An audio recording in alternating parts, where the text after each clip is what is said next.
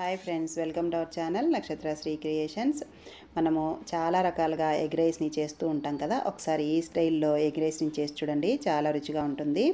First అయితే మనకు కావాల్సినంత రైస్ని ఇలా బౌల్లోకి సపరేట్గా తీసేసుకొని అందులోకి ఒక వన్ టేబుల్ స్పూన్ వరకు కారము మీరు మీ రుచికి సరిపడా కారాన్ని వేసుకోండి. తర్వాత వన్ టేబుల్ స్పూన్ వరకు ధనియాల పొడి రుచికి సరిపడా ఉప్పును కూడా తీసుకొని ఈ రైస్లోకి బాగా మిక్స్ చేసుకోవాలి.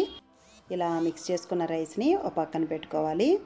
ఈ రైసు వేడి వేడిగా మనము పిల్లలకి లంచ్ బాక్స్లో కానీ లేకపోతే స్కూల్ నుంచి ఇంటికి వచ్చినప్పుడు కానీ చేసి పెడితే చాలా ఇష్టంగా తింటారండి. చాలా రుచిగా ఉంటుంది. తర్వాత స్టవ్ వెలిగించి ప్యాన్ పెట్టేసుకొని అందులో ఒక మూడు టేబుల్ స్పూన్ వరకు ఆయిల్ వేసుకొని ఒక మీడియం సైజ్ ఆనియన్ని ఇలా సన్న సన్న స్లైసెస్ లాగా కట్ చేసి వేసుకొని ఇందులోకి ఒక రెండు పచ్చిమిర్చిని కూడా చిన్న చిన్న ముక్కలుగా కట్ చేసి వేసుకోవాలి. ఇందులోనే కొద్దిగా కరివేపాకు ఒక హాఫ్ టేబుల్ స్పూన్ వరకు అల్లం వెల్లుల్లి పేస్ట్ని కూడా వేసుకొని బాగా ఫ్రై చేసుకోవాలి. ఈ విధంగా ఫ్రై చేసుకున్న తర్వాత ఇందులోకి మనం తీసుకున్న రైస్ క్వాంటిటీని బట్టి తీసుకోవాలండి. టమాటా ఒక టమాటా అయితే సరిపోతుంది.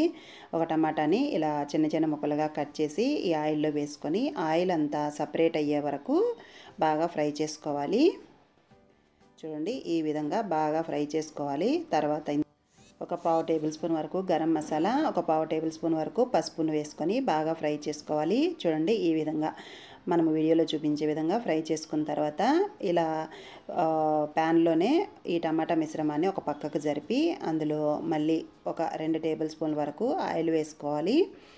తర్వాత మనము మనం తీసుకున్న రైస్ క్వాంటిటీని బట్టి ఎగ్స్ అనేది యాడ్ చేసుకోవాలి. నేను ఒక త్రీ ఎగ్స్ వరకు యాడ్ చేసుకున్నాను. మీకు ఇష్టమైతే ఇంకా వన్ ఆర్ టూ యాడ్ చేసుకోవచ్చు.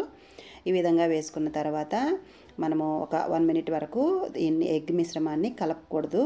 తర్వాత ఇందులోకి ఒక పావు టేబుల్ స్పూన్ వరకు మిరియాల పొడి వేసుకొని స్లోగా ఎగ్ మిశ్రమము ఎక్కువగా మెత్తగా అయిపోకుండా పెద్ద పెద్ద ముక్కలుగా ఉండేటట్టు బాగా ఫ్రై చేసుకొని ముందుగా మనం పక్కన జరిపి పెట్టుకున్న ఈ టమాటా మిశ్రమాన్ని కూడా కలిపి బాగా ఒక వన్ మినిట్ వరకు ఇలా ఫ్రై చేసుకున్న తర్వాత ముందుగా మనము రైస్ రెడీ చేసి పెట్టుకున్నాం కదా ఆ రైస్ అంతటిని కూడా ఇందులో వేసేసుకోవాలి.